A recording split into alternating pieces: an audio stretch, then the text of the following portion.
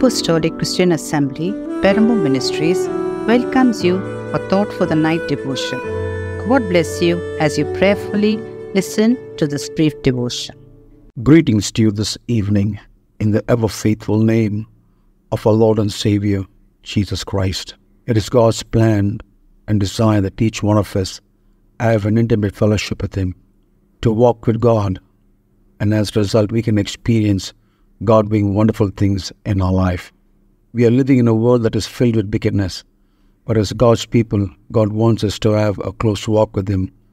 My walk with God will determine the blessing that God has in store for me. Many times we are so caught up in the physical things of life, but God this evening wants us to give importance to the spiritual things in life so that our lives will be blessed. For a brief devotion this evening, let us read 2 Kings chapter 20 and verse 3. Remember, Lord, how I have walked before you faithfully and with wholehearted devotion, and have done that is good in your eyes. We see the faithfulness of King Hezekiah in following God. After his father's wicked reign, he did not follow in the footsteps of his father, but determined to follow the Lord. Because he determined to follow the Lord, he did not want anything to be an hindrance in him following the Lord God. Pagan altars, idols, and temples were destroyed. The bronze serpent that Moses had made in the desert was also destroyed because the people had made it an idol. The temple in Jerusalem, whose doors had been shut by Hezekiah's own father, was cleansed and reopened. To follow God is to accept His Lordship. We must be willing to accept the Lordship of God in our life and the desire to be led by God. God expects each one of us this evening as His children to follow Him 100%. We need to remove everything that will hinder us from following Him you are the best judge for yourself this evening. You know the one thing that is keeping you back from following God. It may be a secret sin, some selfish desire in your life. When we accept the Lord as our shepherd, guide, and master, He will lead us to true peace and true prosperity. In spite of the struggles we may encounter with hardships and enemies, our Lord, our chief shepherd, will keep His watchful eye over us, lovingly doing what is best for each one of us we need to remember that God is with us in every moment of life. As long as we are following Him, nothing will harm us. We can experience God's peace and comfort when He is leading us. The Lord will keep His watchful eye over us, lovingly doing what is best for each one of us. There will be no lack for us as long as we are following the Lord God. Hezekiah experienced God's presence with him, and he was a man who prospered during his reign. God expects each one of us this evening to follow Him faithfully unmindful of the situation and circumstance. We need to check our life daily to see whether we are following the Lord, because sometimes or unknowingly we may have drifted away from following God. The very purpose that God has saved each one of us is that we may follow Him wholeheartedly and ultimately be with Him for eternity. The true mark of a faithful follower of Jesus Christ is that he stays where he is, unmindful of anything. It's not that I follow Him when life is fine and I'm on the mountaintop. Sometime a little later, down in the valley, I leave off from following the Lord.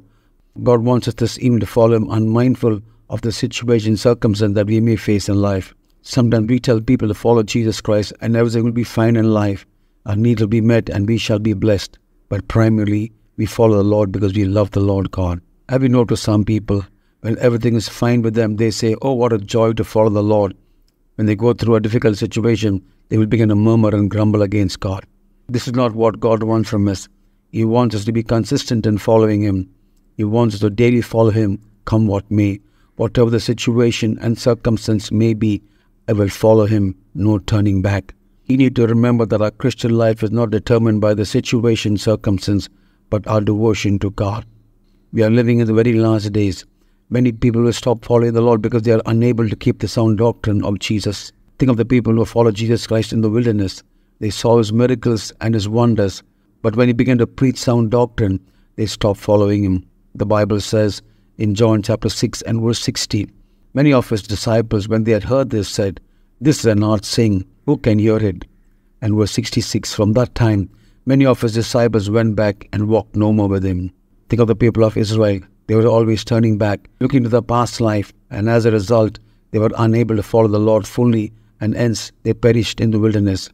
We need to remember that God has not chosen us to perish, but to follow Him wholeheartedly and to inherit the promise of His blessings. We need to consider this this evening. Just because we have been saved, it doesn't guarantee us of eternal life. But we need to remember that we need to follow God every day faithfully. We sing that wonderful chorus, every day with Jesus is sweeter than the day before. Is it a reality in your life? Or is it just a song that you sing? When the Lord becomes sweet in your life, then following Him will be a delight. God has called each one of us to follow Him faithfully. How can I follow God faithfully when I have my eyes fixed upon Him? The Bible says, looking unto Jesus, the author and the perfecter of our faith. Fix your eyes upon the Lord your God this evening, and you can follow Him unmindful of your situation, circumstance. It's a real tragedy when we fail to inherit the promised blessing that God has in store for us. Think of the people of Israel whom God redeemed from bondage. But none of them were able to enter the land of promise except for Joshua and Caleb because they followed the Lord faithfully. Dear child of God, take a very firm decision this evening that you will follow God faithfully, unmindful of the path that you are going through.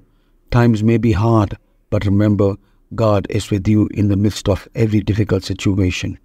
May God give us the grace that we will follow Him faithfully and ultimately inherit the promised blessing that He has in store for each one of us, and that is to be with Him for eternity. May God bless you and may God be with you. Amen.